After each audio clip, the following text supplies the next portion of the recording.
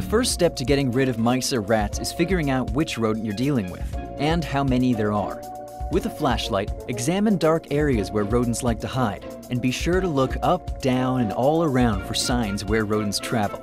A good inspection will help you determine the type of rodent. Is it a house mouse, Norway rat, or roof rat? The severity of the problem, where they eat, travel, and nest, the cause of your problem, whether it's poor sanitation, available food, or water, the best type of rodent control product to use and where to place it for success. Telltale signs of rats and mice include droppings, urine odors, gnawed holes, rub and gnaw marks, rodent runways, rodent nests, scampering noises, and unusual pet behavior. Rodent droppings are a sure sign that rats or mice are present and will indicate the type of rodent, the size of the infestation, and where they are most active.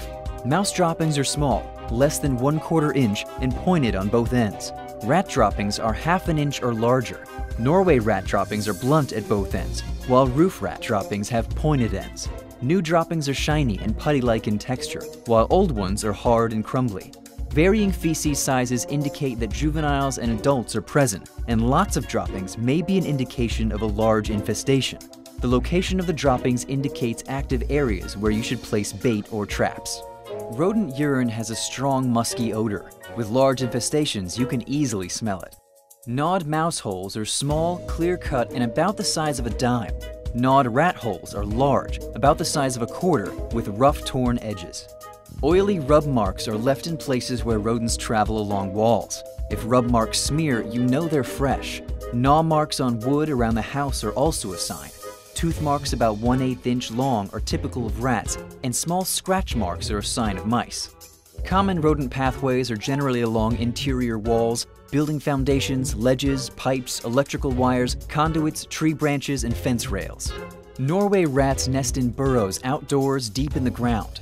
Roof rats typically nest above ground in attics, trees, or dense vegetation.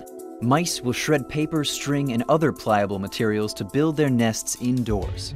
Rodents are nocturnal.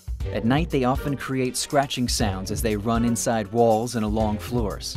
Pets tend to act unusual when they hear or smell rodents in the house. They may appear extremely alert, bark, or begin to paw at spaces beneath refrigerators, stoves, or low clearance pieces of furniture.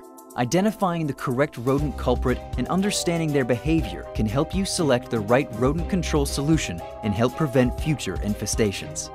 For more information about selecting the right rodent control solution for you, visit our custom solution finder, Tomcat Prowler brought to you by the Tomcat family of products.